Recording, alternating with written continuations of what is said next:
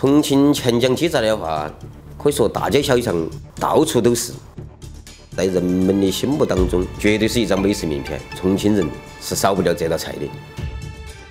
大师的菜，家常的味儿。我是重庆厨师熊远儿。凡是火的菜品，都具备了一个特征的，就是一个是面向大众、面向消费。每个人的舌尖是杆秤噻，他觉得一个是好吃，那是第一性的。我觉得每一个菜品哈，它应该具备五个好的元素：原料要好买、好做、好看、好吃、好卖，或者好销售的意思。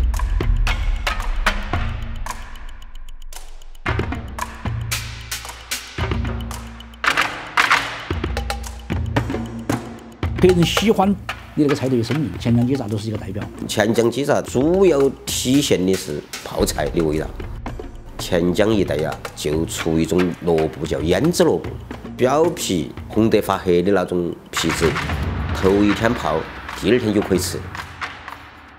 胭脂萝卜呢，就用来和鸡杂一起炒。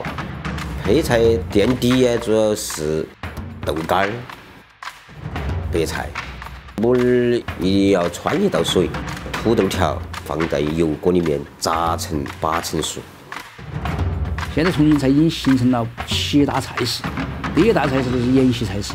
第二大菜式的是大众便餐菜式，第三个菜式是药膳食疗菜式，第四个菜式是家常风味菜式，第五个菜式是火锅风味菜式，第六个菜式是风味小吃菜式，第七个菜式就是江湖。钱江鸡杂现在我们把它归纳到江湖菜里面了，也算个江湖菜了。钱江鸡杂，鸡杂先飞一道水，因为啤酒它是去鸡杂的膻味儿。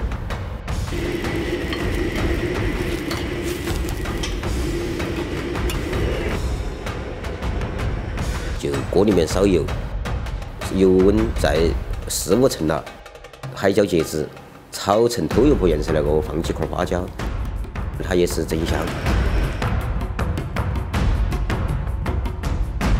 泡姜、泡海椒、泡菜，主要是去鸡杂的膻味儿。泡椒末下去炒，它才增颜色。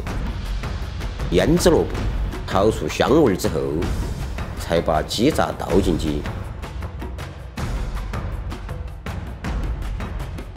加了水过后就开始调味，凡是泡菜系列的东西离不开胡椒粉。胡椒粉呐，它和那个泡海椒的乳酸呐很容易融合在一起，把它一烧开，这道菜就好了。成菜之后啊，鸡菌和鸡肠吃起是脆，鸡肝呢吃起鲜嫩。可口，同时又有泡姜、泡海椒的味道，回味悠长，绵绵不断。高中毕业，突然接到一封信，是我的家乡的一个人，是他无意中写错了，写到我的名字了。然后我们几把信拿来一看，他是写给另外一个人的，但是那一个人呢？他又不愿意来学厨师，我就跟到他联络了之后，都跑到重庆来，开始学厨师。八七年到现在，那个时候是十八岁，现在不是应该是做的年头是三十三年了。